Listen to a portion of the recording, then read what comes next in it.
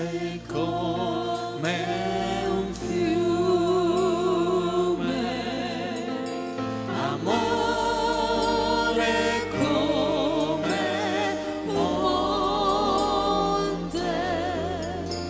il vento del tuo spirito sta soffiando.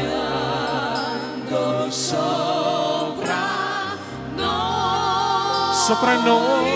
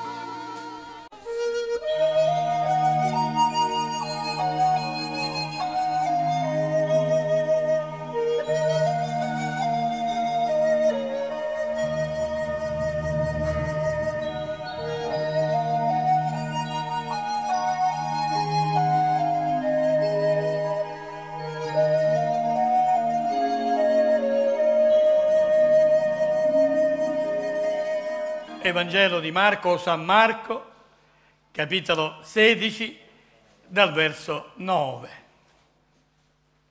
Voglio dirvi forse una curiosità, perché sono certo non voi che siete in sala, ma molti che ci seguono per la televisione dicono perché dicono Marco e non San Marco, perché Giovanni e non San Giovanni? Perché abbiamo un insegnamento biblico che molte volte non è conosciuto fuori. Fuori c'è la convinzione che per essere santi bisogna subire un processo di beatificazione, secondo ancora quelli che sono degli adempimenti di carattere liturgico, religioso, e poi dopo la beatificazione ci vogliono i miracoli da morto. Tutto questo non è scritto nella parola di Dio.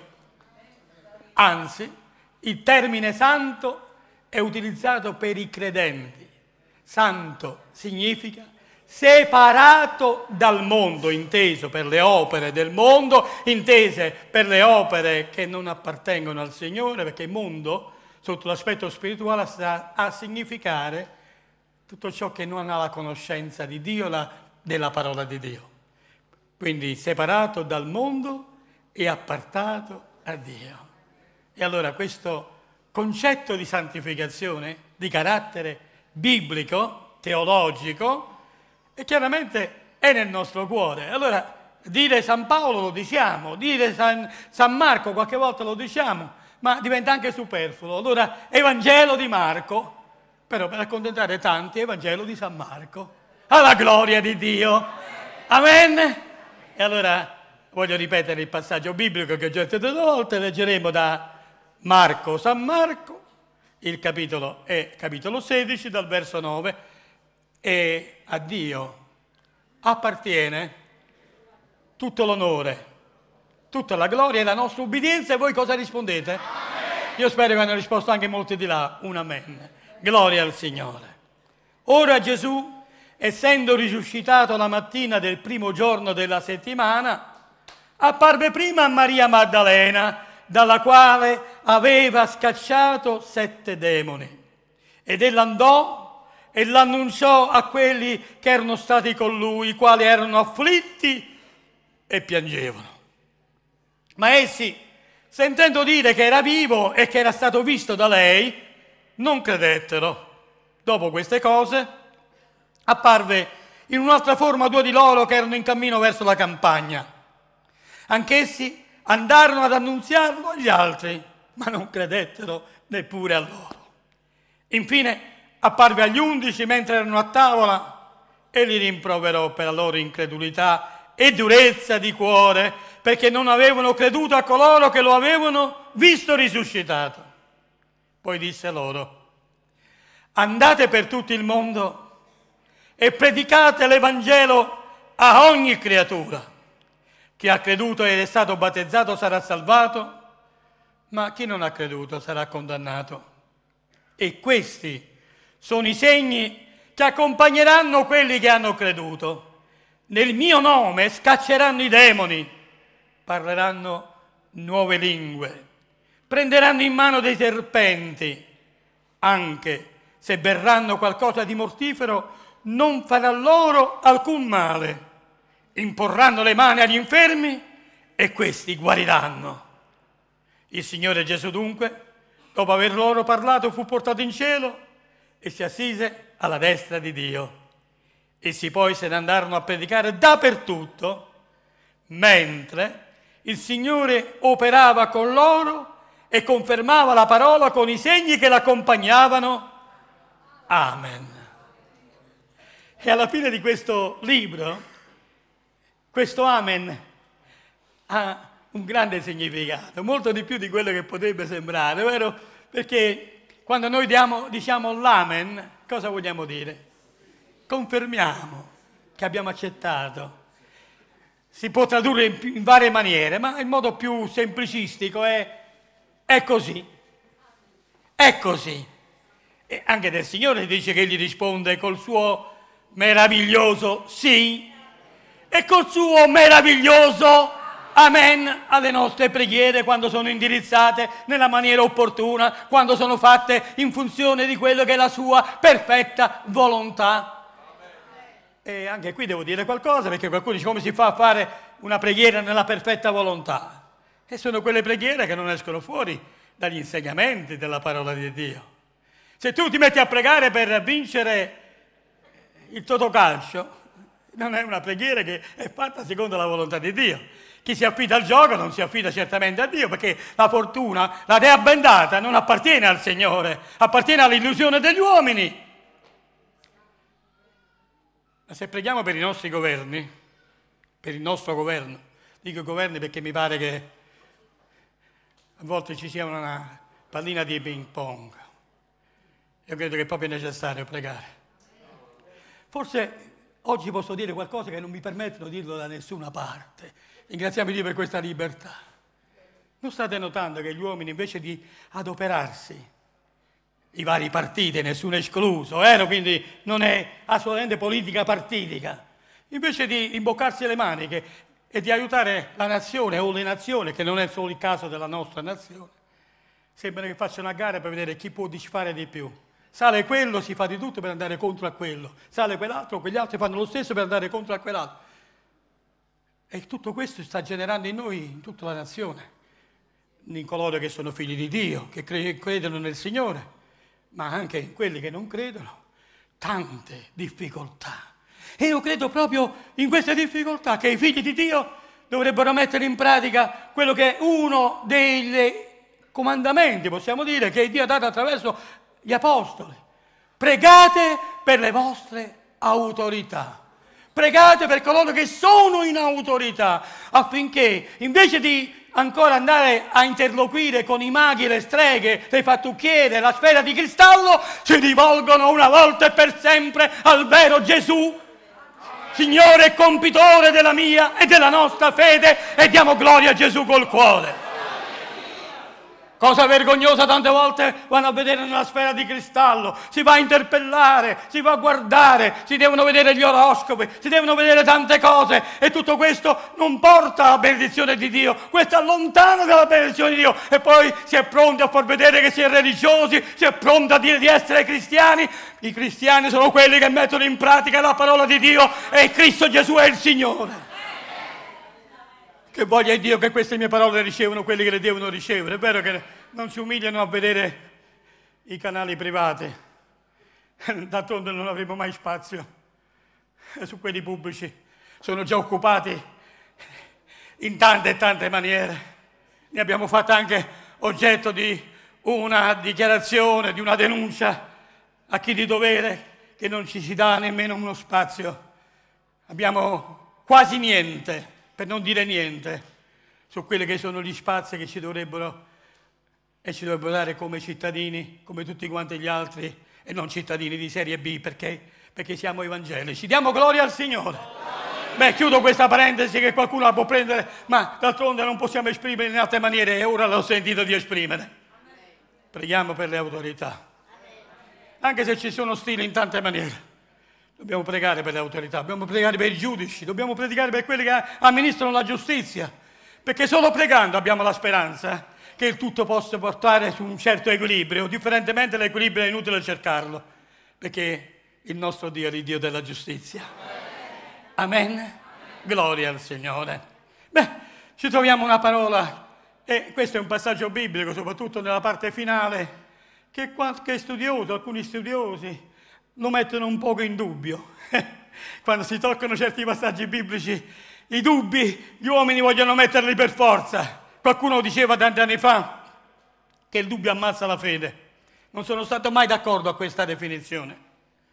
La fede quando c'è, non c'è nessuno che la possa distruggere.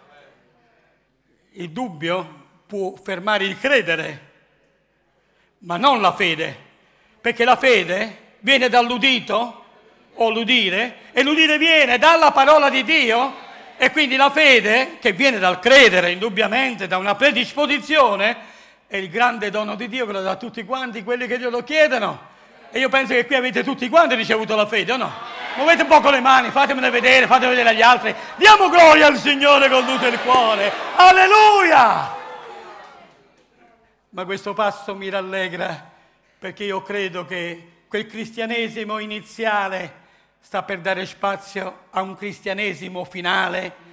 E quando dico iniziale e finale voglio intendere all'inizio della Chiesa vera di Gesù Cristo, quella che non è un'istituzione umana, quella che non è fatta di tante liturgie e tante carriere, quella che è fatta nella maniera in cui noi stiamo perseguendo e stiamo continuando nell'esempio, in quello che ancora i ministeri li dà Gesù Cristo, i doni dello Spirito li dà lo Spirito Santo e crediamo che per fede ogni cosa è possibile a chi crede. Alleluia allora inizialmente noi vediamo quello che leggiamo, eh, abbiamo testimonianze negli atti degli apostoli e abbiamo ancora le epistole ed arriviamo ai tempi escatologici della fine che è nell'Apocalisse e i libri precedenti e tutta la parola di Dio sappiamo che ancora è un corollario bellissimo e che armonico che si collega insieme.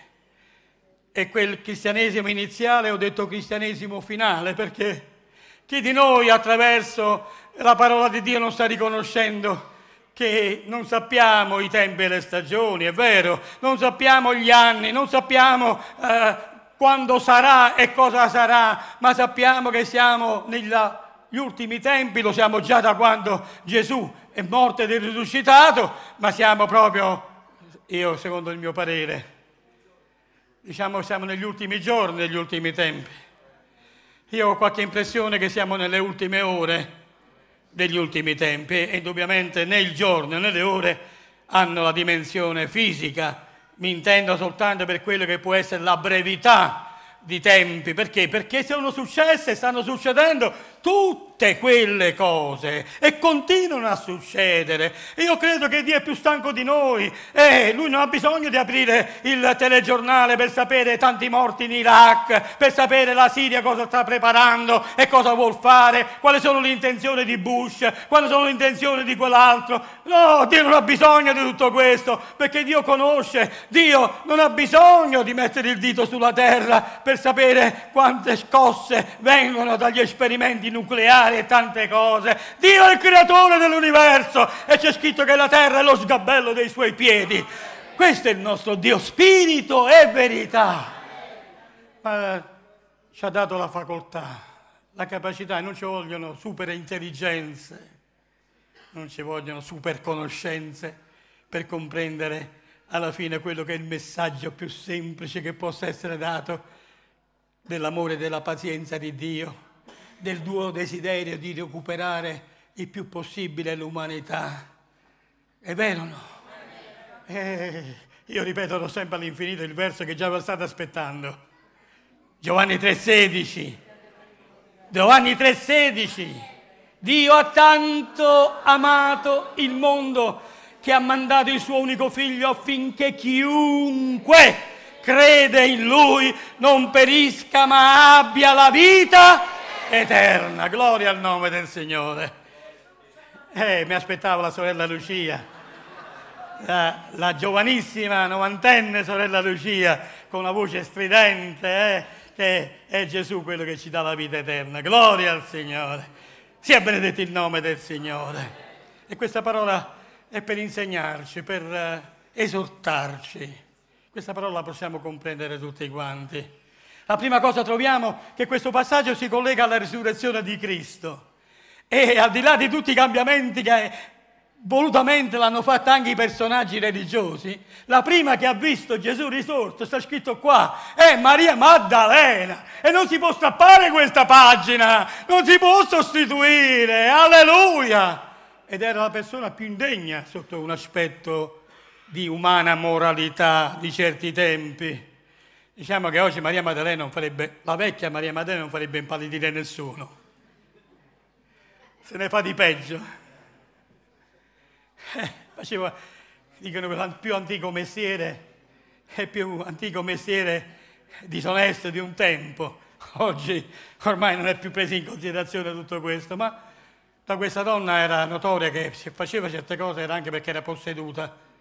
E il 7, se può essere anche simbolico, io credo che sia numericamente anche valido. Maria fu liberata da sette spiriti dell'inferno, o demoni se preferite, e dopo la liberazione, al di là di tutte le schifezze che le cinematografie e i copioni e quello che si vuole ancora presentare in questi ultimi tempi eh, di un Gesù che ha avuto una relazione, ha avuto una famiglia. Ma l'inferno cosa può dire? Scusatemi. L'inferno può mai parlare bene di Gesù Cristo? Ditemelo. Ma l'inferno può mai parlare bene di noi? Ma noi sappiamo che il Signore ci ha dato la potestà di mettere l'inferno e i suoi spiriti, i suoi demoni sotto i piedi per l'autorità che abbiamo nel nome di Gesù Cristo, il nostro Signore. Amen.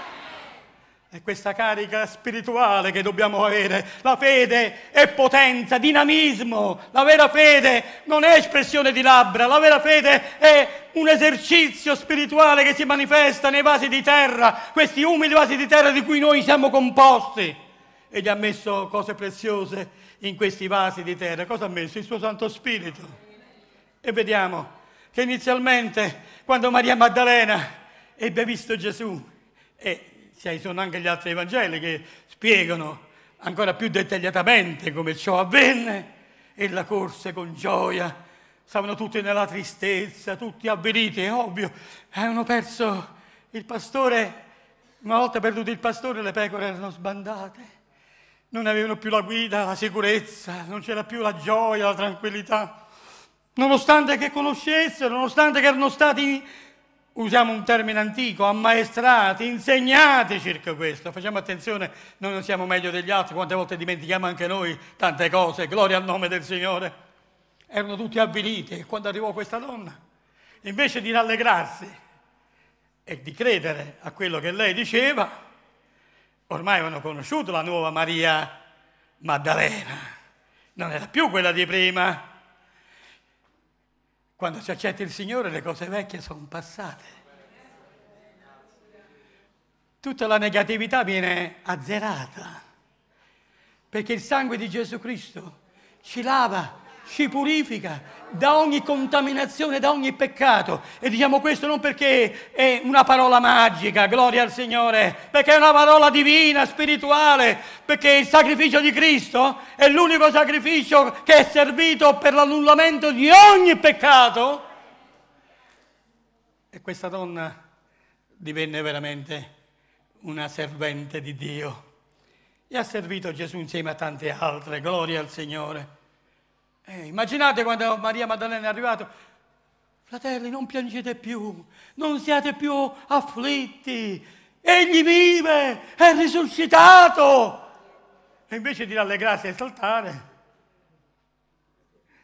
non la credettero. Ma che stai dicendo? E poi due di loro, e ci riferiamo ai discepoli sulla via di Emmaus, il castellea di Emmaus, che non era un castello, era una contrada, che se ben ricordate abbiamo predicato anche tante volte su questo soggetto. Questi due andavano in questa frazione e camminavano all'imbrunire si avvicinò quest'uomo che non si fece riconoscere ma era Gesù ma che siete turbati?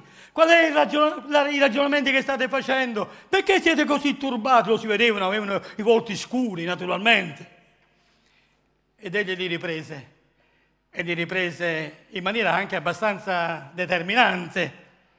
E cominciò con la scrittura a spiegare loro tutto il piano di Dio della salvezza. E arrivati vicino al bivio, furono loro che invitarono il viandante a stare con loro, intanto si era fatto sera. Signore, rimani con noi, perché si fa sera. Quanto mi piace questa espressione, l'ho predicata tante volte, vero? E mi fa sempre, e mi emoziona sempre tutto questo, perché corrisponde veramente a delle parole che si è detta col cuore nei momenti più tristi della nostra vita, nei momenti di pericolo, nei momenti in cui veramente pare che non possiamo aggrapparci a niente, nei momenti in cui ci sembra anche che il Signore non c'è, ma Lui c'è. C'è? C'è? Ne siamo sicuri? Siamo sicuri per la parola di Dio?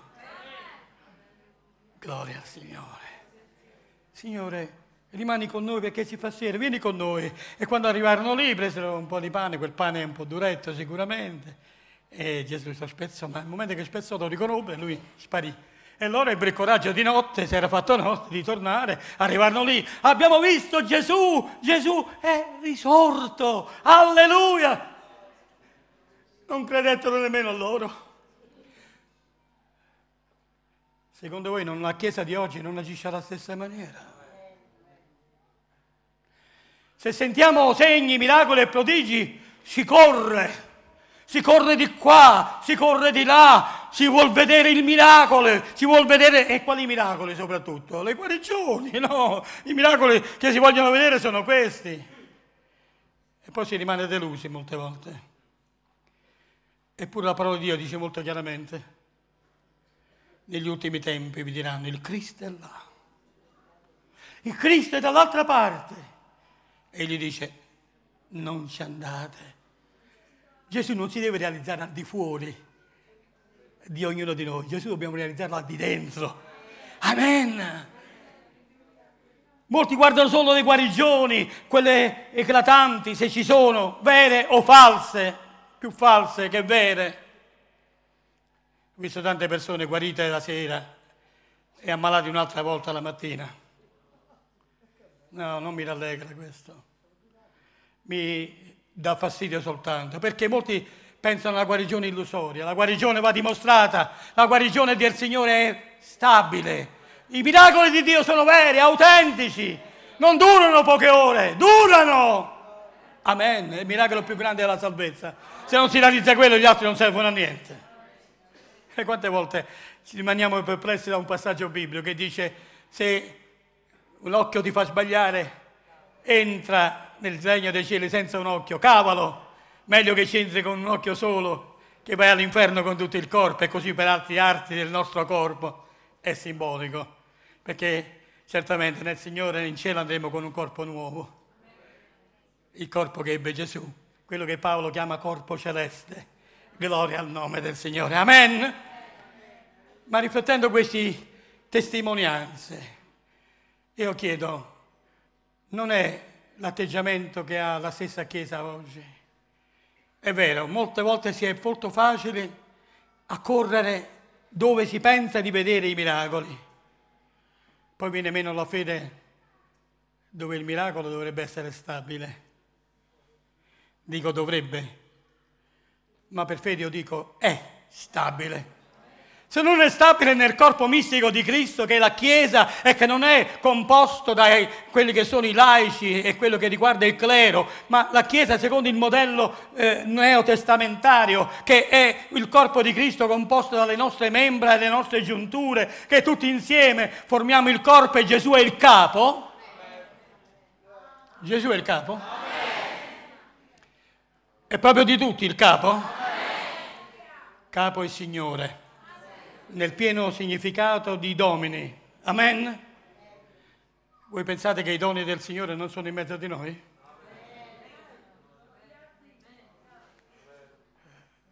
Non ho detto che voi li vedete in mezzo di noi.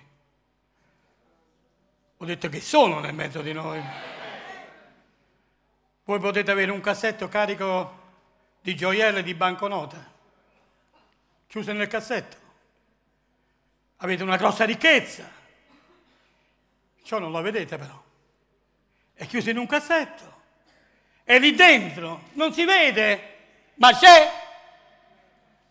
E il Signore queste cose l'ha stabilito fin dal primo giorno perché nel momento stesso che dà il mandato ai suoi discepoli e dice andate per tutto il mondo, ed ovviamente non potevano andare solo quei discepoli per tutto il mondo, loro potevano andare dappertutto dove era possibile, ma il mandato è dato a coloro che per primi facevano parte di questa realtà ministeriale di Gesù Cristo e dice andate per tutto il mondo predicate l'Evangelo, la buona notizia che Dio ha fatto pace e fa pace con gli uomini, che Dio perdona il peccatore penitente.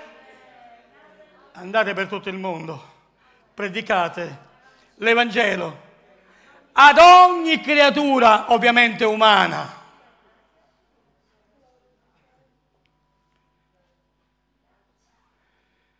Ad ogni creatura. Beh, c'è un altro passo che dice che il Signore non tornerà se prima la parola non è stata predicata, ma oggi sappiamo che attraverso i media, attraverso la televisione, internet, stampa, libri, eccetera, eccetera, l'Evangelo è predicato da tutte le parti. Se ci sono ancora delle parti, il Signore le raggiungerà in una maniera o nell'altra. Andate per tutto il mondo, predicate, siamo tutti predicatori. E c'è da distinguere, non stiamo parlando del ministero della parola, noi siamo testimoni di Gesù Cristo. E predicare o proclamare in questo caso si assimilano e stanno insieme, proclamiamo che cosa dobbiamo dire al Signore, o meglio, quello che il Signore ha dato a noi, dobbiamo trasmetterlo agli altri, cominciando dalla signora della porta a fianco per le sorelle, il collega di lavoro. Molti non crederanno, molti credono di stare a posto, hanno la loro religione, eh, si preparano per i 3.000 anni, 4.000 anni di purgatorio.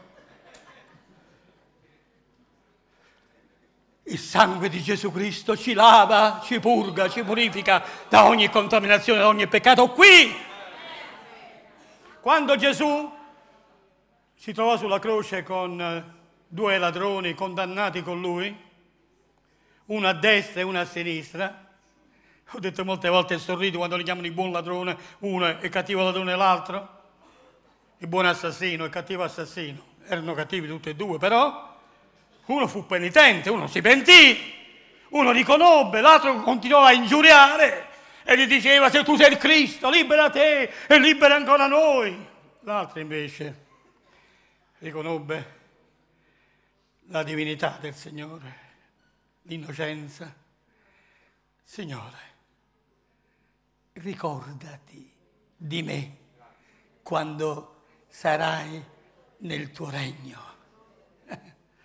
E qui è una risposta che vorrei mettere tutto insieme quelli che la pensano differentemente, tutti gli studiosi, per dire ripartite da capo.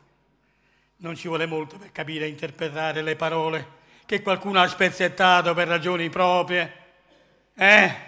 ma che noi accettiamo nella sua integrità eh, di messaggio.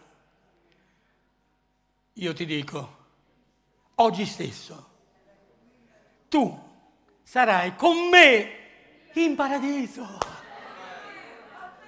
Il padre che dopo la morte di Gesù si è aperta la porta del giardino di Dio per entrare poi nel regno di Dio. Amen. E ci sono i segni.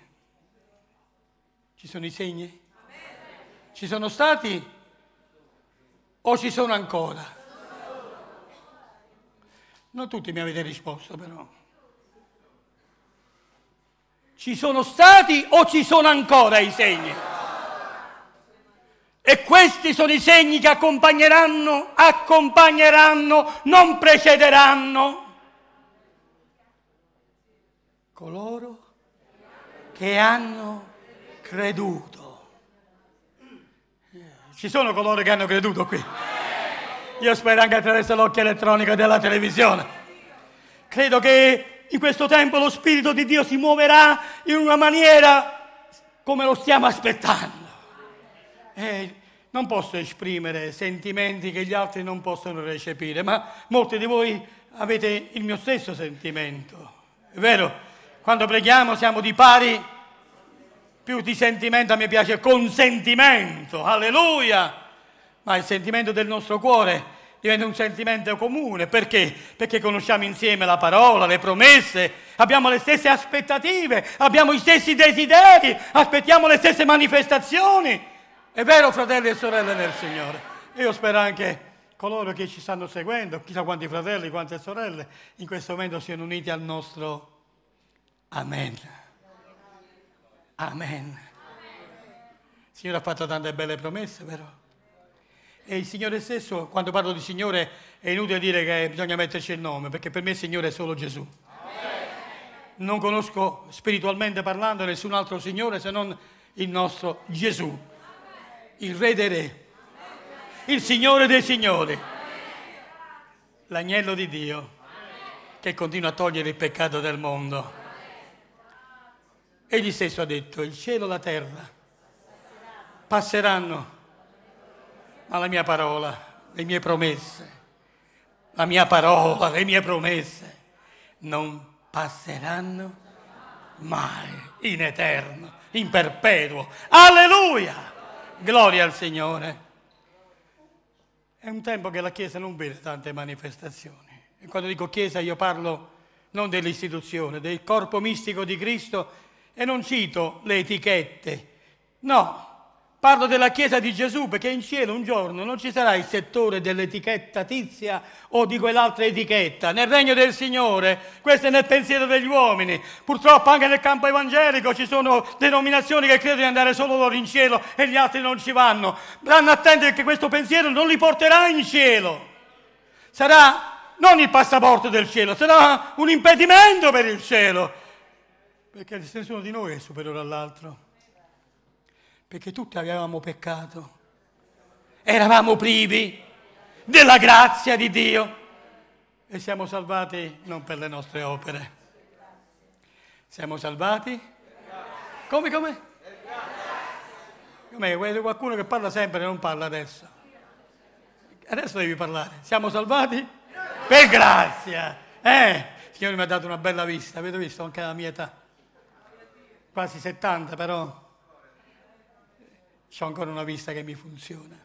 Ma soprattutto chiedo al Signore mi dia una vista spirituale che non ti deve mai annebbiare.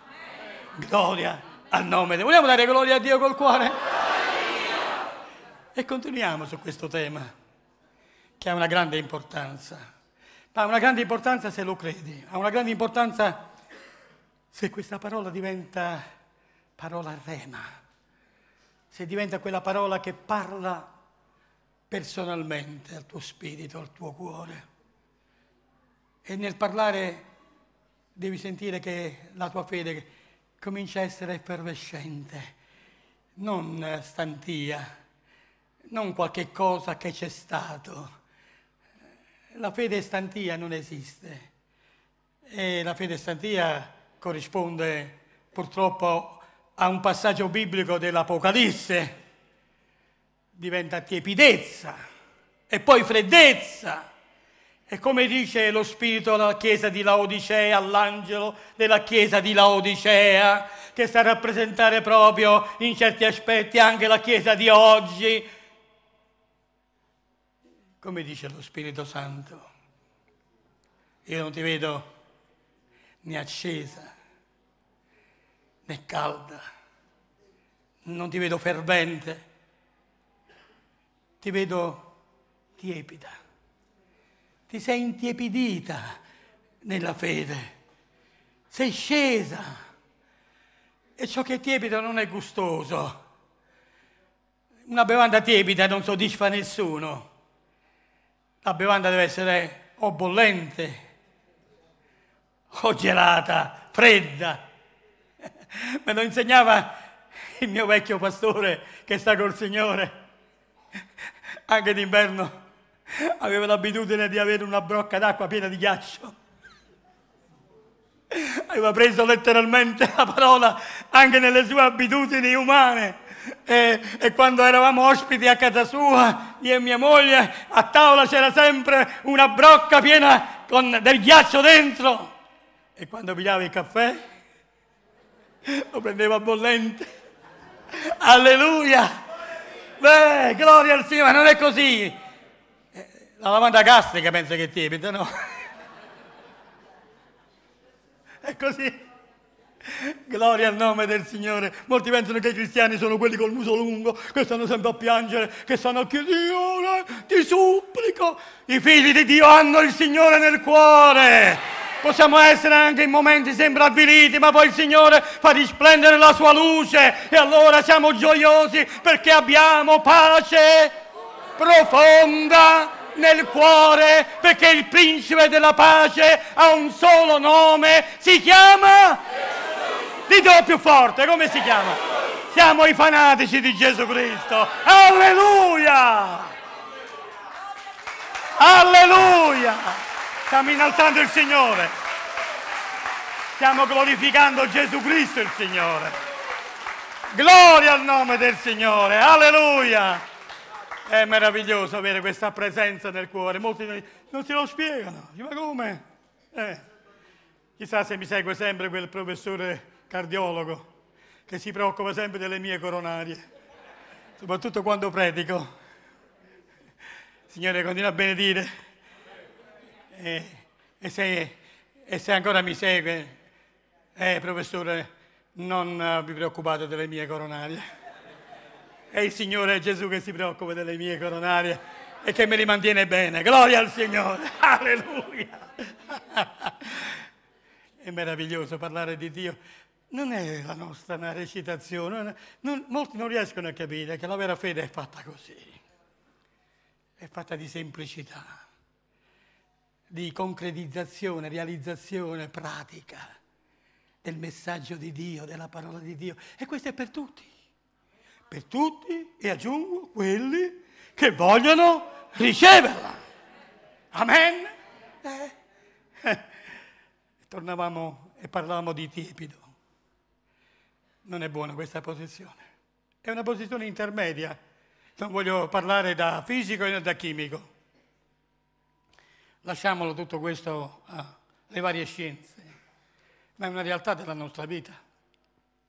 O fossi pur, tu freddo pur fervente, continua nel messaggio all'angelo di Laodicea, o fossi tu pur freddo o pur fervente, perché se sei tiepido, io ti vomiterò dalla mia bocca. No. È un messaggio che la Chiesa deve recepirlo, cominciando da noi, alleluia. Vogliamo essere tiepidi? Vogliamo essere tiepidi? No. Ma neanche freddi? No. E allora? Mi giunge un canto. Il fuoco inizia da una piccola scintilla. E credo che qui ci sono più scintille, alleluia! Scintille spirituali! Diamo gloria al Signore col cuore!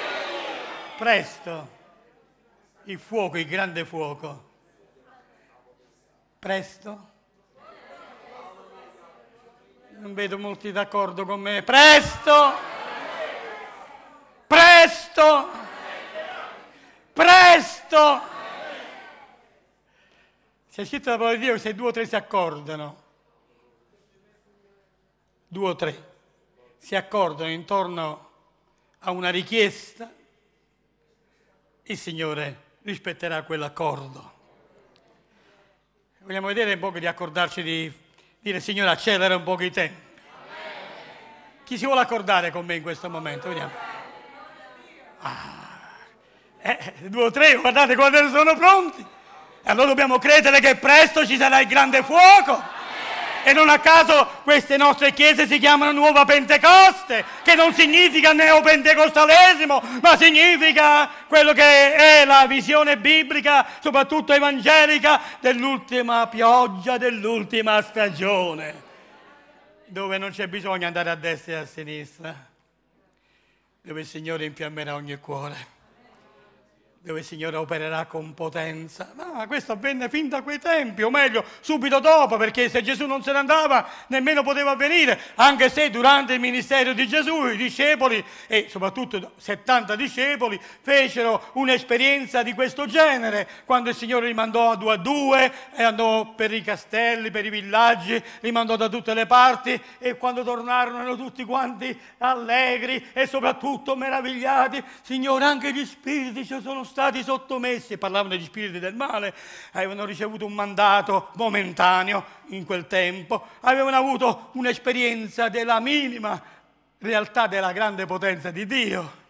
Signore, noi abbiamo fatto nel tuo nome, abbiamo fatto questo, abbiamo fatto quello, ed erano soprattutto rallegrati, al di là delle guarigioni fisiche, avevano capito l'importanza della liberazione spirituale, perché avevano visto i demoni di cui tutti tremavano, e vi ricorderete c'è anche l'episodio di quell'indemoniato di Gadara, e ebbene gli spiriti ci sono stati sottomessi e sottoposti.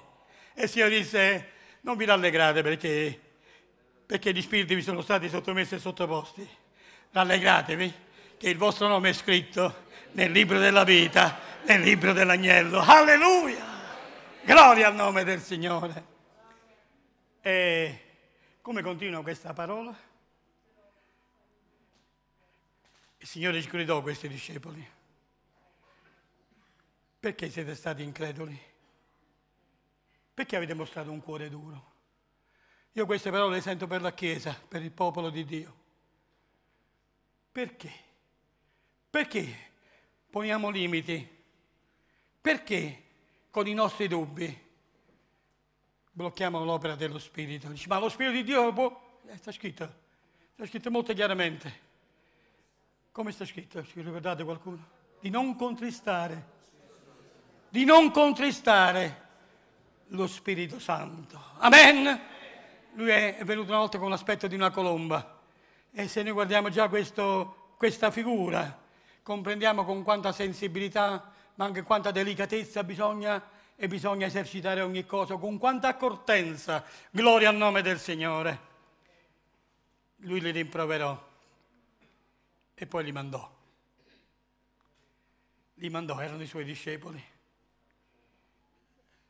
Chi vuole essere mio discepolo? Gesù ebbe a dire rinunci a se stesso. Prenda ogni giorno la sua croce in spalla e mi segua. E ho detto più volte, lo chiarisco, che la croce non è il marito, non è la moglie, non è il figlio. La croce è la sofferenza e il vituperio che portiamo nel nome di Gesù. Quanta gente, io sono pazzi, vedo tutti, tutti maniaci. Il primo maniaco è quello che chiacchiera, quello che grida. E di stasera una parola che è arrivata, che ricordava Giovanni Battista, che era una voce di uno che gridava nel deserto. Beh, sono felice, non sono Giovanni Battista. E vogliamo essere tutti quanti piccoli Giovanni Battista. Per gridare a un mondo state per perdervi, state cadendo nella, nell'abisso. C'è tempo, c'è tempo. Or c'è vita con uno sguardo al Signore. C'è vita, c'è perdono, c'è speranza, c'è un vero futuro. Basta, basta voler credere e riconoscersi peccatore, peccatori. E la grazia di Dio è ancora all'opera, perché la porta della grazia è ancora aperta. Gloria al nome del Signore. Alleluia. E questi sono i segni. Il Signore li mandò. E tanti cari fratelli, ma questo era per loro. E questi cari fratelli dovrebbero stappare diverse pagine dal Nuovo Testamento. Cominciando dal libro del profeta Gioele nell'Antico, dovrebbero stappare le pagine che parla che il Signore espanderà il suo spirito sopra ogni carne, non sulle carni speciali, sopra ogni carne. I vostri vecchi faranno dei sogni, i vostri giovani delle visioni, prima che il sole venga trasformato la luna, eccetera, eccetera. E poi dovrebbero essere stappate tutte le epistole di Paolo ai Corinti, soprattutto da 1 Corinti 14 a 16 17. Bisogna strappare quelle pagine. Perché di fatti molti l'hanno strappata e ritengono che non appartengono più a questi tempi. Il Signore è lo stesso di ieri, di oggi, di sempre. Egli non cambierà giammai. Lui vuole operare attraverso di voi.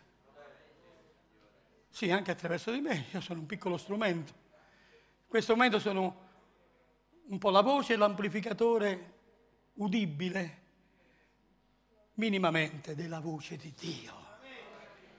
Io l'ascolto prima nel mio cuore. Il messaggio passa prima per me stesso e do gloria al Signore col cuore. Alleluia! Lodate il Signore, ma credete alla parola di Dio. Questi sono i segni in ogni tempo che accompagneranno, cioè saranno insieme, mostreranno la validità di questa parola, la veridicità di questa parola.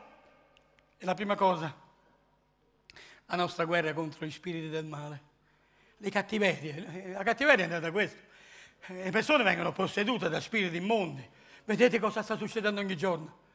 Ma le disgrazie, o meglio la criminalità a livello di famiglia è diventata una cosa comune. Il marito che distrugge una famiglia, quell'altro distrugge un'altra, e i giovani che... Ma notate come stanno crescendo queste cose? Sono sempre state, mi direte, certi avvenimenti, tristi avvenimenti anche di criminalità, ma oggi stiamo superando ogni livello di guardia, perché è scritto nella parola di Dio.